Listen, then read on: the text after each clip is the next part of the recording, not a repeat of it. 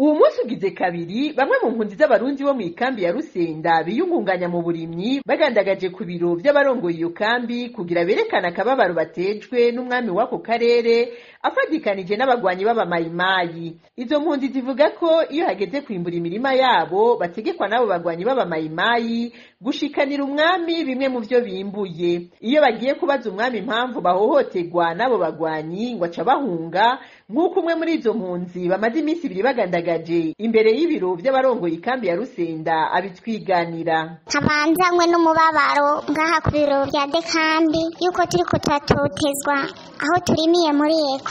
Hakaza bitwaje ibigwanisho bavuga ati twatumwe na mwami. Twagera kwa mwami ubwo nyene agaca yigira akigira sinda bibazwa hama sekereteri nawe agasigara twandika amaboroke n'amaparasera n'amaviraje. Ivyo vyo kubasaba gushikanira ibifungurwa vyunyurwa n'iterabwoba bakorerwa n'abo bagwanyi babasanga mu mirima bitwaje inkoho. Aje azanye inkoho akadusanga ku murima aho turiko turakura ngo mbega ngo aha hantu muriko muraharimira ngo murafitiye amakaratasi yavuye kwa mwami yemeza ko muriko murarima ngaha muri eko tukaca tubabwira ati twebwe amakaratasi twaba dufise ni amakaratasi yabo twakoteye.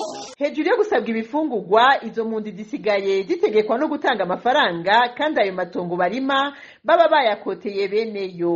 Abo bakongomani badusaba ngo dutange amafaranga angana n'ibihumbi mirongo ibiri na bitanu kuri buri murima umumwe wese. Rero twebwe twitegereje tubona ayo mafaranga ataho twoyakura.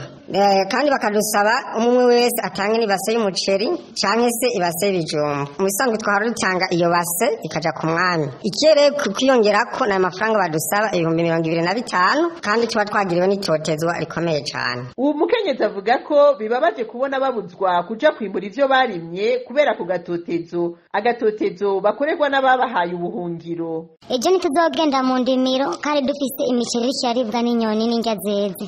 Twari gusaba leta kw'ico kibazo ikadufata mu mugongo ikadukomoreza ivyo twarimiyeyo.